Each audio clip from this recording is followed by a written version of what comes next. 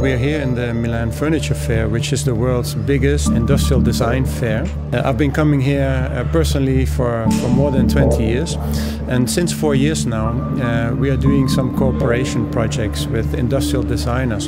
And for me personally, uh, this offers us a lot, uh, a lot of inspiration uh, and a lot of discussion, exchange.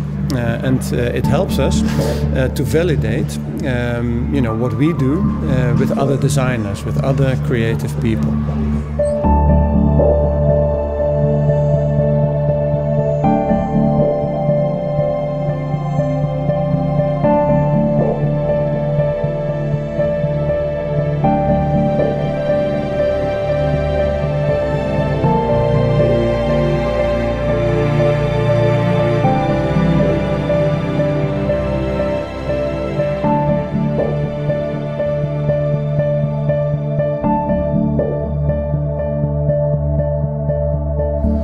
So we wanted to speak about uh, silence and, uh, and movement. So a quiet motion, something,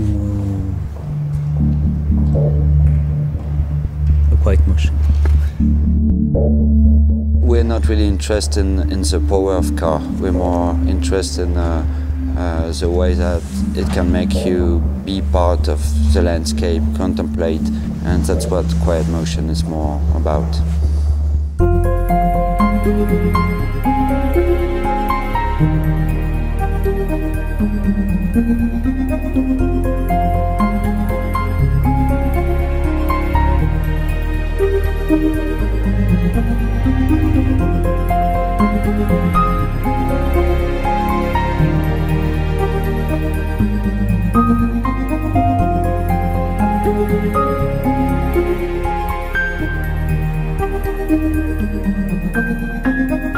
This installation uh, means for BMW i that uh, actually uh, it translates uh, quite well the idea of mobility. Uh, this is also moving and this very quiet. Uh, you hear nothing like an electric car.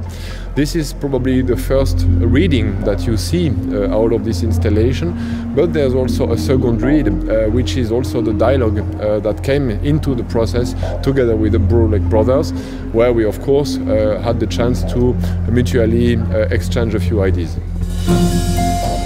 Música